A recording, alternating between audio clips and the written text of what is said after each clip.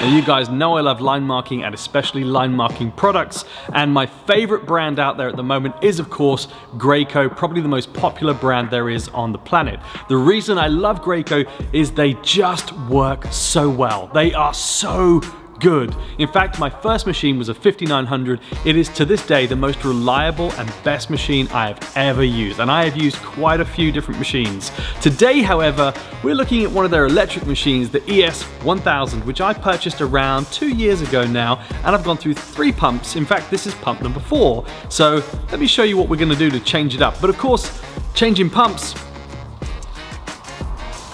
well, it's messy business and I think it's time to glove up. Let's do it.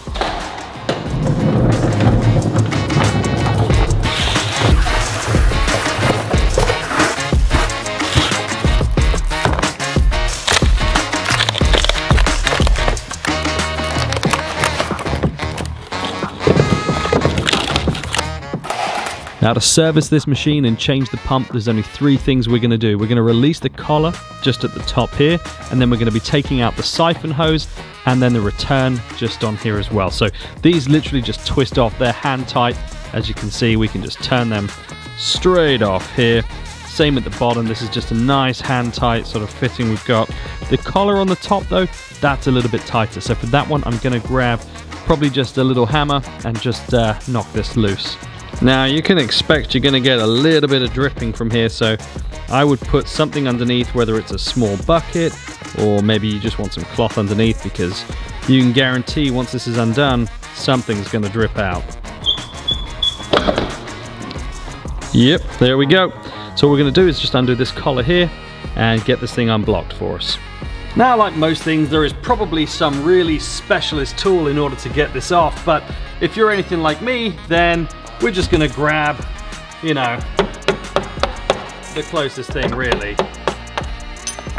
Now this doesn't need to be majorly tight, so we can just wiggle her out, get the collar down, and it should just slide out for you like so.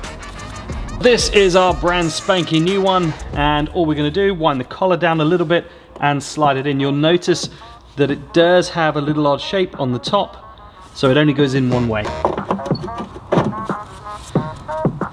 Tighten her up.